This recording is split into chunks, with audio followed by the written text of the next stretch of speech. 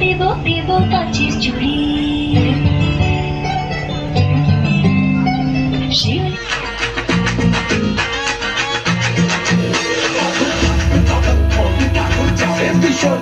শুরু হয়েছে হিন্দু ধর্মাবলম্বীদের সবচেয়ে বড় পুজো দুর্গাপুজো আজ মহাষষ্ঠী ধুমধামের মাধ্যমে পালিত। গত দুবছর করোনা আবহে দুর্গাপুজোর উপর নানা বিধিনিষেধ ছিল। এই বছর থেকে আবার সমহিমায় ফিরেছে বাঙালি হিন্দু প্রাণীর উৎসব দুর্গাপুজো।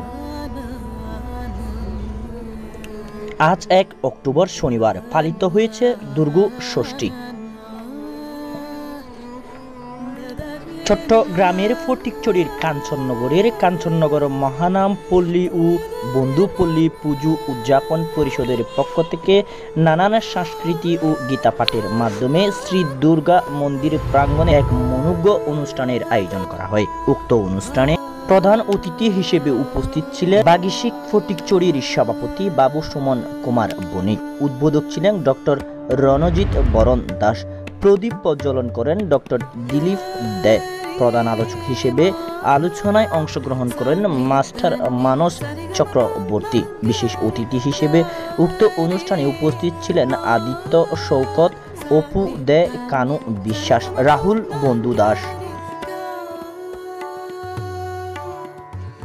রাজীব নাথের সঞ্চালনায় উক্ত অনুষ্ঠানে সভাপতিত্ব করেন বন্ধুপল্লী ও পূজা উদযাপন পরিষদের সভাপতি শ্রীযুক্ত প্রকাশ কান্তি দাস। তৎসময় বক্তারা ধর্মের নানাবিধ বিষয় তুলে ধরে বলেন। পূজা মণ্ডপ, দীর্ঘ পঞ্চাশ বছর ধরে এই অনুষ্ঠান। এখানে গীতা মায়ের পূজা অনুষ্ঠিত হতে যাচ্ছে।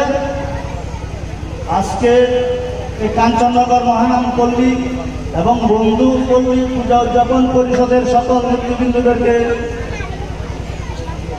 কাঞ্চননগর বাগিশিক গীতা কমিটির পক্ষ থেকে শারদ শুভেচ্ছা জানাচ্ছি।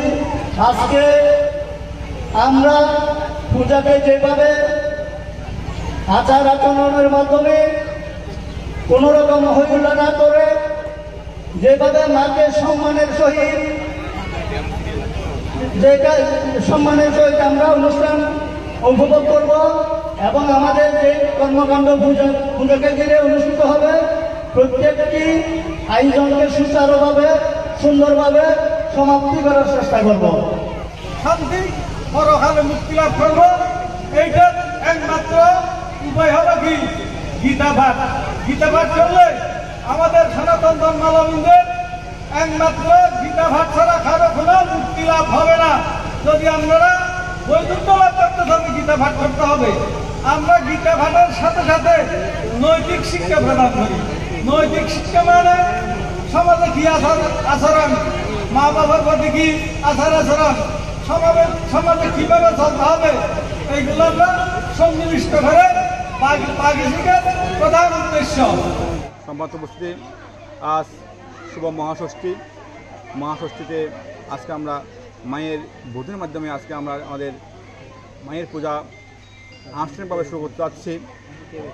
আজকে এই মহাষষ্ঠী উপলক্ষে কাঞ্চননগর মহানাম পল্লী ও বন্ধুপল্লী সংগঠনের উদ্যোগে গীতাপাঠ প্রতিযোগিতা এবং বীর সাংস্কৃতিক অনুষ্ঠানের আয়োজন করা হয়েছে। উপস্থিত, আপনারা জানেন মহারিয়া দিন মা দুর্গা প্রয়াস থেকে এই পৃথিবীতে এই মুহূর্তে এসেছেন আমাদেরকে মতো দিককে উদ্ধার করার জন্য। মা দুর্গা, এই মহারের দিন, এই দহদামে আসার পর থেকে নয় দিন যুদ্ধ করে, অশুভ শক্তিকে বিনাশ করে, শুভ শক্তিকে পরিষ্কার করার জন্য মা দুর্গা আমাদের এই মুহূর্তে এসেছেন। আজ হচ্ছে মহাষষ্ঠী, আরও প্রায় ষাট দিন বাকি রয়ে গেছে। এই ষাট দিন মধ্যে মা অশুভ শক্তিকে বিনাশ করে এই এই এই গ্রহণ করে আবার তিনি আবার করে সে গমন করবেন। আমার মনে থাকবে, এই যেই চার দিন পূজা রয়েছে, আপনারা এই সাত দিন মাকে সাত্বিক সুন্দরভাবে মাকে মায়ের মতো পূজা করুন। মা যেন খুশি হয়ে আমাকে আশীর্বাদ প্রদান করে, মা যেন খুশি হয়ে আমাদেরকে বর প্রদান করা, প্রদান করে থাকে। আপনারা জানেন, আমাদের পরিস্থিতিতে প্রায় একশো বৃষ্টির মতো পূজা মণ্ডপ রয়েছে। এই পূজা মণ্ডপে অত্যন্ত সাড়ম্বরভাবে এই পূজা পূজা অনুষ্ঠিত হতে হতে যাচ্ছে। এই এই একশো বৃষ্টির মধ্যে মধ্যে আমাদের উপরে রয়েছে বত্রিশটি পূজা মণ্ডপ এবং বস্তুস্থান প্রায় আটটার মতো পূজা মণ্ডপ রয়েছে। জয় পার্থ প্রেমানন্দে হরি হরি বলো। বল জয় জয় পার্থ সারথি প্রেমানন্দে হরি হরি বলো